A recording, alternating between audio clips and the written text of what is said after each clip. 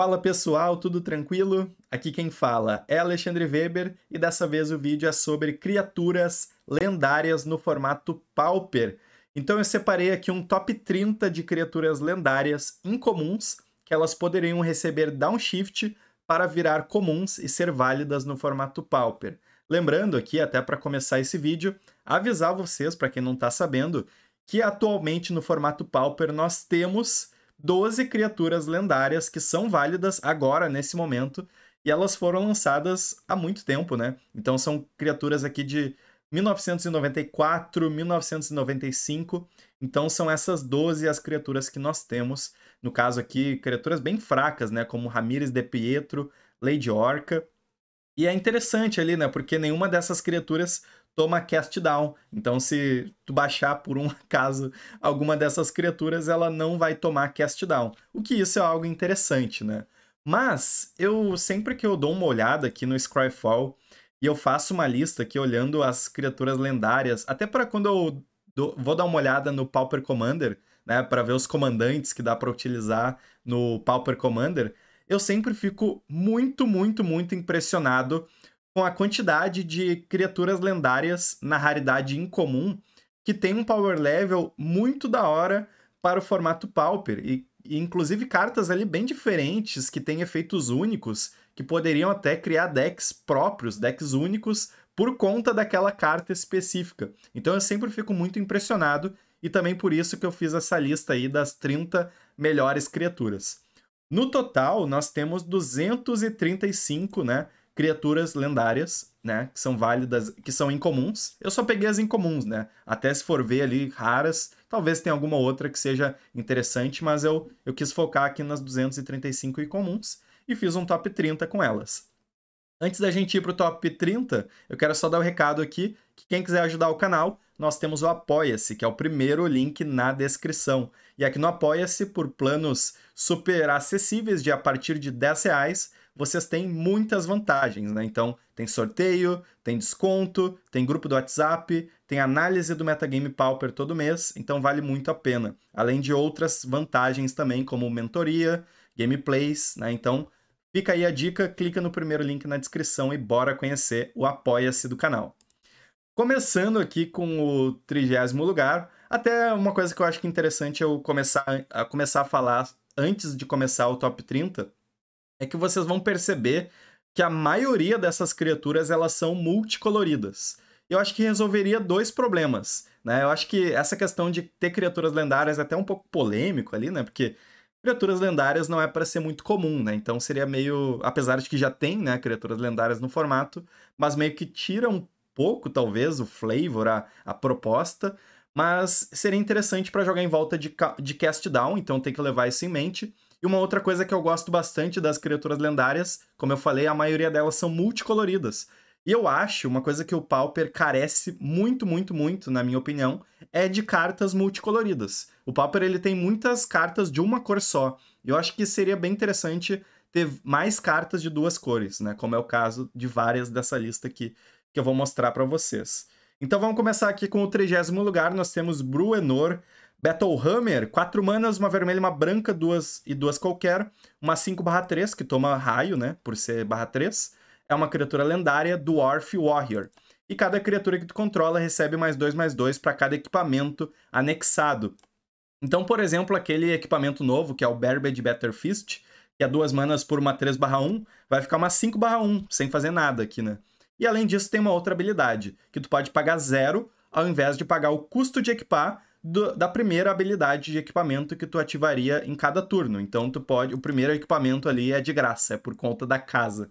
Então eu acho que seria uma criatura bem interessante. Não seria muito forte, eu acho, por custar 4 manas, mas faria ali um arquétipo de Boros equipamentos bem da hora ali, com essa habilidade ali do mais 2 mais 0. Seria um Lorde incrível para um deck assim. Por isso que eu acho que esse tipo de carta seria muito da hora de ver no formato Pauper, né? Então esse é o trigésimo lugar.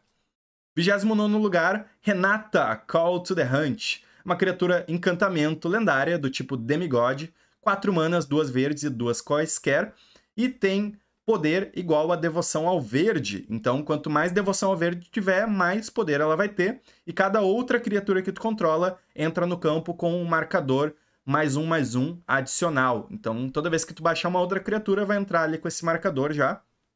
Eu acho interessante, por apesar de ser quatro manas, consegue fazer com que ela tenha um poder muito alto, né? Então, sei lá, ficar 6 barra 3, 7 barra 3. Ela com rancor tu dá atropelar e aumenta um de devoção também. Então seria bem interessante ali um Monogreen Devotion no formato Pauper, né? Até tem o Monogreen Devotion do Pioneer, que não é, não é tão legal de se enfrentar, mas eu acho que ali por 4 manas eu acho que estaria de boa, né? Tem, vão ter cartas bem mais fortes nessa lista, mas essa aqui é bem interessante ali também, e também morre para Bolt, né? Por ter 3 de defesa. 28 lugar, Grunguli The Generals. Generals. Três manas, uma vermelha, uma verde uma qualquer, é um Goblin Xamã, e cada outra criatura não humano que tu controla entra no campo com um marcador mais um mais um adicional. Essa daqui ela possibilitaria uma forma alternativa de combar que alternativa ao First Day of Class, porque se tu tivesse o Putrid Goblin, o Skirk Prospector e o Grungruli The Generals, tu conseguiria combar, então seria uma forma de buscar, inclusive, com a Matrona Goblin, para combar ali no Goblins Combo. Seria bem interessante, mas num Gru ali, talvez com essa temática ali de ter várias criaturas e elas entrarem um pouco maiores, também poderia ser interessante, mas principalmente para o Goblins Combo, essa criatura seria bem da hora de se ver no formato. Próximo lugar, eu já me perdi aqui nas colocações, mas enfim, né?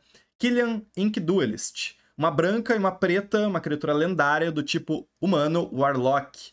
Tem habilidade de lifelink, ameaçar, e as mágicas que tu castam, que dão alvo em uma criatura, custam duas a menos para serem castadas. Então, por exemplo, um cast down, que custa uma preta e uma qualquer, vai custar só uma preta. Então vai reduzir sempre né, esse custo. Não reduz o custo de Journey, porque o Journey não é uma mágica que dá alvo numa criatura, mas ela poderia reduzir o custo de alguma aura que custe mana genérica também. Acho que seria bem interessante, até talvez num deck de portão ali, pelo lifelink, ameaçar, seria legal ali num BW Portões. Uma criatura sólida por conta própria, né? Bastante habilidades que talvez veria jogo. Então tá aí, né? Mais uma carta interessante. A próxima aqui por mono, uma cartinha para o Mono Green Stomp. No caso é o Sir Faren, The Hammer. Duas verdes, 2/2, criatura lendária do tipo humano cavaleiro. Quando ataca, outra criatura atacante recebe mais X mais X, sendo X o poder de Sir Faren. Então, se tu colocar um rancor, por exemplo, no Sir Faren, tu tá batendo com uma criatura 4/2 e atropelar, e tu dá mais 4 mais 4 para uma outra criatura atacante. Isso aí seria bem maneiro, né? Talvez até um pouquinho forte e tudo mais, mas não seria tão forte. Até o fato de ser lendária acaba equilibrando um pouco as coisas, porque tu só vai poder ter uma dela na mesa, né? Então, até para questão de deck building, tu não conseguiria usar 4 no deck. Né? Tu teria que usar 3 ou 2. Mas seria bem interessante ali para um Mono Green Stomp. Então, ali, mais uma, mais uma carta que eu queria ver no Pauper. A próxima é a Zadra, Zada Hydron Grinder. Quatro manas, uma vermelha e três qualquer. É uma criatura lendária Goblin aliado. 3/3, e toda vez que tu casta uma instantânea feitiço dando alvo na Zada Hydron Grinder, tu copia aquela mágica para cada outra criatura que tu controla, que tu poderia dar alvo com aquela mágica. E daí tu vai, né, vai criar uma cópia. Vamos supor que tu faça a Zadra e faça Mutagenic nela tu vai dar mais 2 mais 2 para todas as criaturas tuas por causa do mais 2 mais 2 do Mutagenic. Então ela vai fazer várias cópias daquela carta. Seria bem interessante, né? Porque seria um Goblin, um, um deck ali que faria várias fichas, talvez de Goblin, talvez não. Talvez com Battle Screech, quem sabe. E tu teria que dar alvo no, na Zada para copiar para todas as tuas criaturas. Seria bem interessante até. Se tu der o alvo com alguma mágica que compra carta, tu copiaria aquela mágica e toda vez que ela resolvesse, tu compraria muitas cartas nessa, nessa questão toda. Mas ainda assim, eu acho que seria uma cartinha bem, bem interessante de se ver ali no formato. Próxima que nós temos aqui é o Kanji Skywarden. 5 manas, uma branca, uma azul e três qualquer. É uma 3/3 lendária do tipo Pássaro Mago. Com voar vigilância, e quando ataca, as criaturas atacantes com voar recebem mais 2 mais 0 até o final do turno. E quando bloqueia, quando essa criatura bloqueia, as criaturas bloqueadoras com voar recebem mais 0, mais 2 até o final do turno. Então seria um Lorde para um deck de voar, né? Teria que ser um deck branco e azul, obviamente, mas com Battle Screech, né? Tu... Claro que seria um pouco lento, porque tu faria o Battle Screech, depois tu faria o Kanji, e daí quando tu batesse, daria mais 2, mais 0 para tudo. mas seria interessante de ver um Lorde para um deck de voar ali no formato Pauper, por isso que eu coloquei Kanji nessa lista. O próximo, mais uma criatura ali para um, um, tribal ali de alguma coisa, no caso um tribal de Saprófitas dessa vez, que é o Slimefoot da Stowaway. Uma preta, uma verde, uma qualquer, uma 2/3 lendária do tipo fungo, e toda vez que um, uma saprófita que tu controla morre, causa um de dano em cada oponente, tu ganha um de vida, e paga 4 manas, e cria uma ficha de saprófita 1/1. Até acho meio problemático, porque essa habilidade de pagar 4 manas para criar uma ficha é muito fácil de combar com qualquer coisa que faz mana infinita, né? Mas seria interessante ali para um tribal de saprófita, apesar de ter esse pé atrás ali de, de, dessa habilidade ali, que muito fácil de fazer ficha, na minha opinião, mas seria legal ali de ver um, uma forma de, de ter um tribal de alguma coisa que a gente não está acostumado a ver no formato Pauper, no caso aqui, tribal de Saprófitas. A próxima carta é a Roshin Meanderer. Quatro manas, três genéricas e uma que pode ser ou vermelha ou verde. É uma criatura lendária do tipo gigante xamã, 4/4, vira e adiciona 4 manas incolores à tua reserva de mana. Tu só pode utilizar essas 4 manas para utilizar uma mágica que custe X, que tenha X no custo. Então ela seria talvez naqueles Trons que tu tem vários Rolling Thunder, vários daqueles Tocha de Karvek, que são cartas que custam X, para poder dar bastante dano. Então tu viraria e tu já teria quatro manas ali para usar alguma dessas cartas. E é bem flexível ali, né? Porque só é uma verde ou vermelha, então é bem fácil de castar num Tron, principalmente. E ela daria um gás ali para um Tron da vida. Seria bem interessante ali, por isso que eu coloquei ela também aqui na lista. Oshin Meanderer. A próxima é o Half Weatherlight Stalwart, uma branca uma azul, por uma 1/3, humano mago, lendária, obviamente, e toda vez que tu casta uma instantânea feitiço, tu pode virar duas criaturas desviradas que tu controla. Se tu fizer isso, compra uma carta. Então teria que ser um deck que faz bastante ficha e. e caramba, me, me enrolei um pouco. E que faz instantânea e feitiço também, que daí tu iria comprar bastante coisa, talvez com Raise the Alarm, que cria duas fichas, né, e, e é uma instantânea. E além disso, tem uma outra habilidade que tu paga 5 manas, duas brancas e três qualquer, e as criaturas que tu controlam ganham mais um, mais um e vigilância até o final do turno. Então seria uma forma também de finalizar o jogo. Seria boa ali com Battle Screech também, quem sabe, né? Então seria interessante de ver essa carta ali né, no formato. A próxima é uma cartinha ali pro, pro Elfos, né? Numa Joraga Chieftain. Três manas, uma verde, duas qualquer, é uma criatura lendária Elfo Guerreiro, 2/2, e no início da fase de combate no turno, tu pode pagar XX. Então, se tu pagar duas, vai ser o X igual a 1. Se tu pagar 4, vai ser o X igual a 2. E se tu fizer isso, tu distribui X marcadores mais um mais um em qualquer número de elfos alvo. Então, quando tu tiver bastante mana sobrando da Priest of Titânia, tu pode fazer um monte de mana e distribuir entre os teus elfos isso seria bem interessante de se ver. Ela tem essa habilidade aqui de comandante, partner, mas é uma habilidade que não é o caso, né? O, seria meio que irrelevante essa habilidade, é mais pelo, pelo primeiro efeito mesmo. Seria legal num, num tribal de elfos, né? A próxima aqui, mais uma carta, né? Assim como a primeira da nossa lista, que foi o Bruenor, nós temos aqui o Rayaf, outra carta que também seria para um deck de equipamentos. Nesse caso, de equipamento ou de encantamentos também, né? De auras que é o Rayave Master Smith. Uma vermelha e uma branca, 2/2, lendária Dwarf Artificer. Toda vez que uma criatura que tu controla que esteja encantada ou equipada atacar, aquela criatura recebe Double Strike até o final do turno. Olha aí que interessante, né? Imagina tu ter um monte de criatura ali equipada e bate com Double Strike com todas elas. É até meio forte ali por duas manas, mas seria interessante ali, né? Justamente para fazer esse tipo de deck vingar ali no formato, né? De, de equipamento seria mais da hora, mas até de encantamentos também seria interessante de ver. Mas, né, claro que tem aquele, aquele potencial de talvez ser uma carta meio fortezinha, né? Mas enfim. A próxima que nós temos aqui é o Groom, The Lonely King. É uma 6 manas, uma criatura lendária do tipo Ape Warrior, 5/5 com Kicker 3. Então tu pode pagar um adicional de 3 manas, que daí vai custar 9. E se ela tiver sido quicada, entra com 5 marcadores mais um mais um. E quando Groom ataca sozinha, tem que, é a única criatura que tu pode atacar no turno, tu dobra o poder e resistência dela até o final do turno. O que eu acho que seria bem interessante de ver é um deck com Groom e Rancor. Porque daí tu colocaria um Rancor e tu estaria batendo 14 barra 10, né? Claro, que, teria que bater sozinho e tudo mais.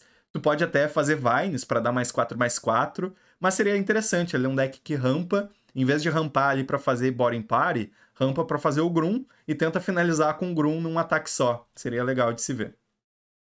Próxima que nós temos aqui é a Kalain Reclusive Panther. Uma preta, uma vermelha, uma criatura lendária do tipo humano, elfo, bardo. Quando entra no campo, cria um tesouro, já é interessante. E as outras criaturas... É, seria...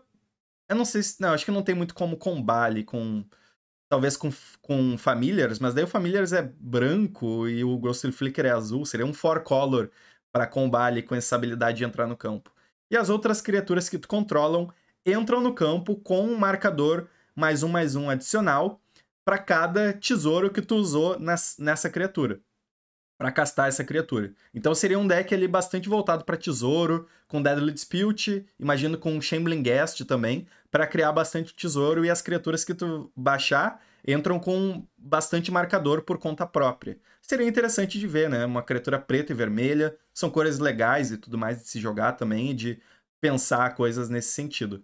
Mas é isso, né? Kalan, mais uma criatura aí na nossa lista de downshifts de criaturas lendárias. O próximo aqui é o Quend, Pride of Femerath.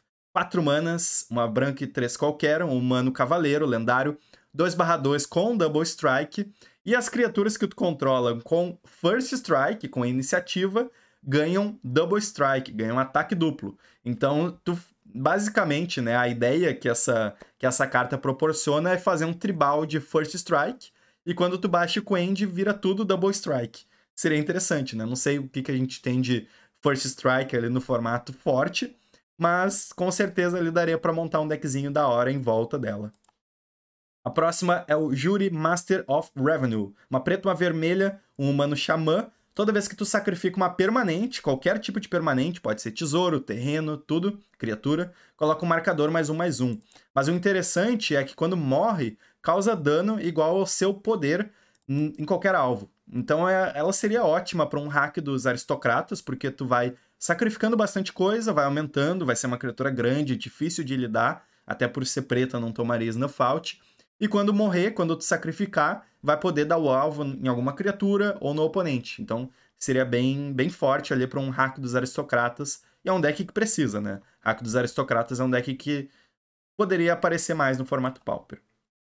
A próxima aqui é Shanna C6 Legacy. Uma verde, uma branca, é uma criatura lendária humano guerreiro que não pode ser alvo de habilidades que os oponentes controlam. Ela não tem hexproof. Parece que ela tem hexproof, mas isso não é hexproof, porque hexproof não deixa dar alvo de mágicas e habilidades. Aqui nesse caso é só habilidades. Então, por exemplo, para vocês entenderem, Journey, quando, quando tu vai fazer o Journey, tu tá dando a, o, o alvo do Journey é uma habilidade. Então ela não tomaria Journey, mas ela toma Cast Down, toma Snuff Out, toma Galvanic, né, o que for e ela recebe mais um, mais um para cada criatura que tu controla. Então seria para um deck ali que tu vai baixar um monte de ficha, um monte de criatura, e tu teria uma criatura grande ali para bater. Interessante também que mesmo ela ficando grande, ela não tem atropelar, né? Não tem nem voar, alguma coisa nesse sentido, lifelink. Então teria que montar de alguma maneira que tu ainda, ainda por cima teria que ter bastante criatura na mesa e teria que ter alguma forma de dar atropelar ou então lifelink ou o que tu quiser. Então seria bem interessante ali para um deck de Swarm de criaturas. A próxima é o Finn the Fangbearer. Uma verde, uma qualquer, é um humano guerreiro, 1/3 com Death Touch, e toda vez que uma criatura que tu controla, que tu controla com Death Touch causar dano de combate a um jogador, aquele jogador recebe dois marcadores de Poison. Então, assim como aquele, aquela que a gente falou agora há pouco, que seria um tribal de iniciativa, Aqui no caso do Finn the Fangbearer seria um tribal de Death Touch. Tu colocaria ela num, num, deck com um monte de criatura com Death Touch, aqueles escorpião, sabe? Uma mana verde, um barra 1 Death Touch. E daí tu teria quatro cópias do Finn the Fangbearer, tentaria bater com todos esses bichos com Death Touch. Se o oponente quiser bloquear, vai morrer a criatura dele, porque a tua tem Death Touch. E se passar o dano, ganha dois marcadores de Poison. Então seria um, um Infect de criaturas com Death Touch. E eu acho que seria da hora, sinceramente. Eu acho que seria bem, bem interessante de ver o fim The Fang Better no Pauper. Deixa eu ver aqui quanto, como é que tá aqui. Ah, não quero dar spoiler. 5, 6, 7, 8, 9, 10, 11, 12, 13. Tá, então vamos para o 12 lugar, em que nós temos Abon Abomination of Llanowar. Uma preta, uma verde, uma qualquer, é uma criatura do tipo Elfo Horror, com vigilância e ameaçar, então são habilidades bem relevantes. E o poder e resistência é igual ao número de elfos que tu controla, mais o número de elfos no cemitério. Então daria uma outra dimensão ali pro elfos, faria com que o elfos fosse um deck Golgari, né, e não um monogreen ou Simic, como ele costuma ser. Mas seria um, um Golgari Elfos em que tu teria uma criatura enorme, né? Porque todos os elfos que morreram vão aumentar o poder do Abomination of Lenoir. E também tem duas habilidades relevantes para atacar, né? Que é o ameaçar e a vigilância. Então, daria um, um, outro ângulo de ataque, uma outra forma do Elfos jogar. E faria com que o Elfos também se protegesse um pouco melhor, quem sabe, do Snuff né? Já que Snuff mata tudo, essa que não mataria. Então, seria legal de ver o Abomination of Lenoir e também, obviamente, não toma cast down, né? Então fica aí a, a dica. A próxima é o Danita Capachem, Paragon. Três manas, uma branca e duas qualquer. Uma criatura bem simples até, é um humano cavaleiro 2/2 com First Strike, Vigilância e Lifelink. E as auras e equipamentos que tu castam custam uma a menos para castar. Isso não reduz o custo de equipar do equipamento, mas reduz o custo para o equipamento ser baixado.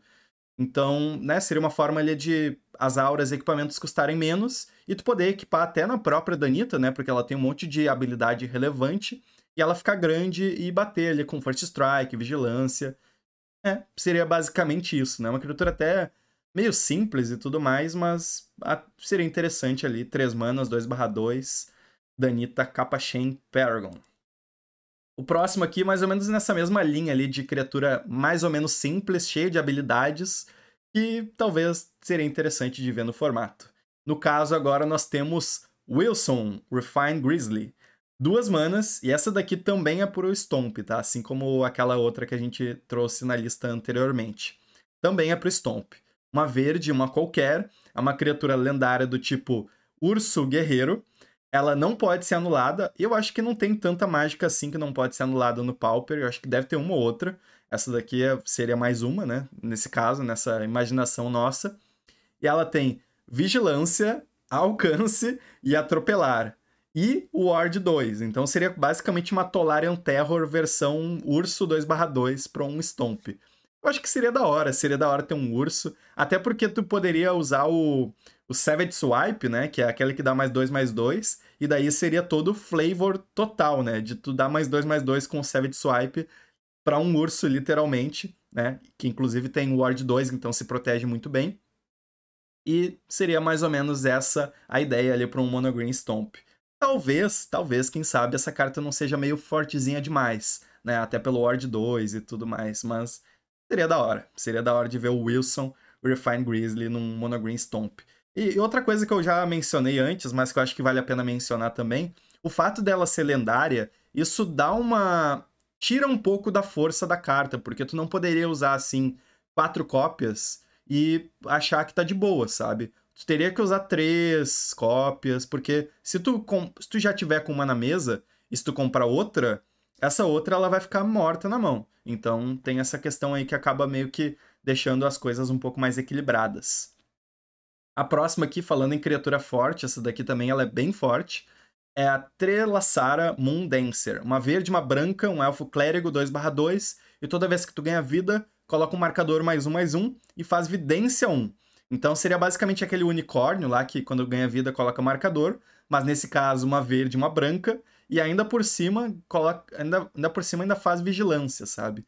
Seria bem bom, seria bem forte ali no Soul Sisters, até meio forte demais, mas eu ainda assim acho que seria interessante ali, coloquei na lista para vocês. Então, e, e, outra coisa, né? Realmente essa questão ali de ser lendária dá uma atrapalhada ali, porque tá, tu vai usar quatro cópias dela e tudo mais, mas talvez as outras fiquem travadas na mão, quem sabe. A próxima que nós temos aqui é Eutropia, The Twice Favored. Uma verde, uma azul, uma qualquer. É um humano mago com habilidade de constela constelação. Então, toda vez que, tu, que um encantamento entra no campo sob seu controle, coloca um marcador mais um mais um na criatura alvo e ela ganha voar até o final do turno.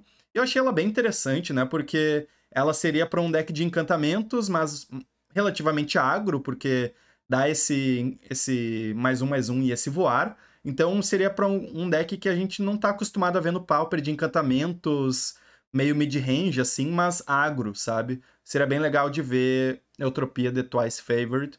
Talvez até num. Seria jogado num, num, num Bunch Auras, né? Com as criaturas com Hexproof, para dar esse mais um mais um e voar. Mas, de qualquer maneira, ali seria interessante. Ele toma remoção, né? Ela não tem Hexproof por conta própria. E custa 3 manas, que é um, até um custo um pouco elevado, mas enfim.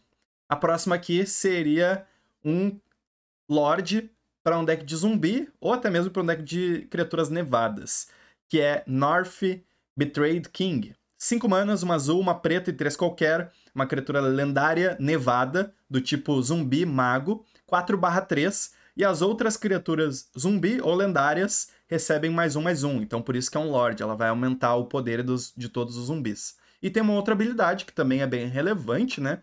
Que paga três nevadas e volta do cemitério para o campo virada.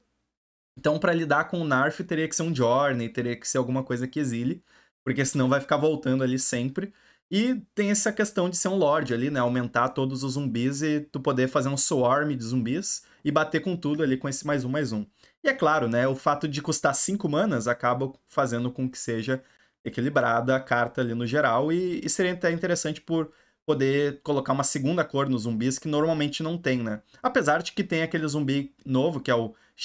Não tão novo assim, que é o Shambling Guest, que cria tesouro. Então seria bem fácil ali de, de fazer essa mana azul com o tesouro, mas seria legal de ver o Narf jogando ali no Pauper.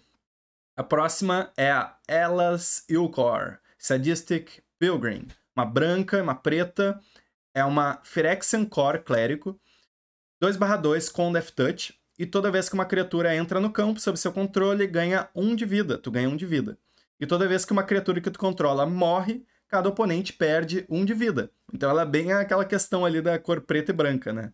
Tem a questão de Soul Sister, de ganhar vida, e quando uma criatura morre, os oponentes perdem um de vida. Então seria interessante ali nessa num deck BW ali bem voltado para criaturas entrando no campo, ganhando vida e morrendo para drenar ali o oponente. Bem forte. E outra coisa, né, o fato de ser lendária também deixa equilibrado ali, porque tu só vai conseguir trigar essa habilidade, só vai ter uma dela na mesa para trigar essa habilidade. Isso pode ser bem relevante também.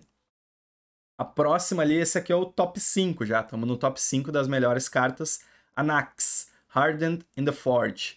Duas vermelhas e uma qualquer, uma criatura encantamento do tipo Demigod. E tem poder igual a sua devoção ao vermelho. Então ela pode ficar bem grande, né? Porque é x barra 3. Então pode ser 5 barra 3, 7 barra 3. E toda vez que a Nax, outra criatura que tu controla, morre, tu cria uma 1 barra 1 vermelha Satir com essa habilidade, que ela não pode bloquear. E se a criatura que morrer tiver poder 4 ou maior, tu cria duas fichas ao invés disso. Seria legal para um mono-red mono -red Devotion, né? Um mono-red Devotion tem até um custo um pouco elevado para um deck vermelho de 3 manas, o que faz com que as coisas fiquem um pouco mais equilibradas. Não tem o Embercleave ali para ter o combo ali da, do Anax Embercleave, né? Não tem, porque Embercleave é uma carta lendária. Mas ainda assim seria bem da hora ali de, de ver um, um deck vermelho mais voltado para devoção e não necessariamente tão agro, voltado para matar com Bolt Galvanic, como a gente está acostumado a ver. A próxima aqui é o top 4. Nós temos Balmor, Battle Mage Captain. Uma azul e uma vermelha. É um pássaro mago, 1/3 com voar. E toda vez que tu casta um instantâneo feitiço, as criaturas que tu controlam recebem mais um mais zero e atropelar até o final do turno seria interessante, né? Porque tu teria que buildar ali de uma forma que teria que ter bastante criatura na mesa, mas que tu também usasse bastante instantâneo e feitiço, para poder aproveitar bastante desse efeito. Né? Numa criatura 1/3 voar e tudo mais. Ela não, não aumenta a defesa, então ela fica um pouco mais frágil ali, a Bolt, a Galvanic. Isso é uma coisa positiva, até porque é um efeito bem forte. E por isso que eu acho que seria ali o quarto lugar na lista. É, o Adelis é bem. A Adelis é bem parecido. Ele eu até deveria ter colocado um pouco mais para trás ali, porque eu acho que o Balmor fica um pouco mais forte nesse tipo de efeito. Mas a Adelis seria mais para um tribal de magos. Uma azul, uma vermelha, uma qualquer. É um humano mago. Voar e, e ímpeto, então já entra batendo, 2/2. E quando tu casta uma instantâneo feitiço, os magos que tu controlam recebem mais um, mais um até o final do turno. Então seria literalmente para um tribal de magos, em que tu, né, montaria de uma maneira para poder se aproveitar bastante desse efeito, né? É bem legal que tem várias dessas lendárias que elas têm um, elas tipo basicamente criam um tribal diferente do que a gente tá acostumado a ver no Pauper, sabe? Tribal de mago, tribal de First Strike, tribal de Death Touch, umas coisas bem loucas assim, bem fora da casa, mas que eu acho que seria interessante, sabe? Me julguem. Enfim, vamos lá. Segundo lugar, Hamza, Guardian of Erashin. Seis manas, uma verde, uma branca e quatro qualquer. Elefante guerreiro, 5/5, custa uma a menos para cada criatura que tu controla com um marcador mais um mais um. Então, se tu tiver quatro criaturas com marcador mais um mais um, ela vai custar uma verde e uma branca. E as mágicas de criatura que tu vai castar vão custar uma menos para cada criatura que tu controla com marcador mais um mais um. Então a ideia é bem simples, né? Tu ter um monte de criatura, um monte de marcador, e daí tu vai ter uma 5-5 ali que entra facilmente na mesa. E é isso. Não sei se seria tão forte, mas seria bem interessante ali de ver uma. Um... Até acho bem da hora essa arte aqui, né? Mas seria interessante ali de ver uma criatura desse tipo ali. É um pouco difícil de fazer encaixar um deck assim, né? Porque tem que ter a criatura, tem que ter um marcador, não é tão fácil. Apesar de que tem várias criaturas que têm marcador por conta própria, né? Mas eu acho que seria interessante de buildar algo nesse sentido. E agora, o primeiro lugar, nós temos Dina, Soul Steeper. Eu queria muito ver essa carta no Pauper. É uma preta e uma verde, é uma druida Dryad. E toda vez que tu ganha vida, cada oponente perde um ponto de vida. Ela é uma 1/3 e tem a habilidade de pagar uma mana e sacrificar uma outra criatura, e ela vai receber mais X mais 0, sendo X o poder da criatura sacrificada. Ela seria basicamente um Maraldin Blight Priest, né, que custa 3 manas, é 3/2, mas nesse caso aqui seria uma criatura lendária, custa uma menos, e né, toda vez que tu ganha vida, cada oponente perde um de vida. Ainda tem uma outra habilidade que pode ser relevante, né? Tu pode bater e, e sacrificar alguma coisa para dar esse mais X mais zero. Bem legal, né? Então essa seria o primeiro lugar. O que, que vocês acharam aí da lista, pessoal? Tem muita criatura da hora, né? Até fica aí a dica, tá? Vou, vou deixar esse link aqui da, dessas 235 cartas. Vocês deem uma olhada em todas as lendárias que poderiam ali, né?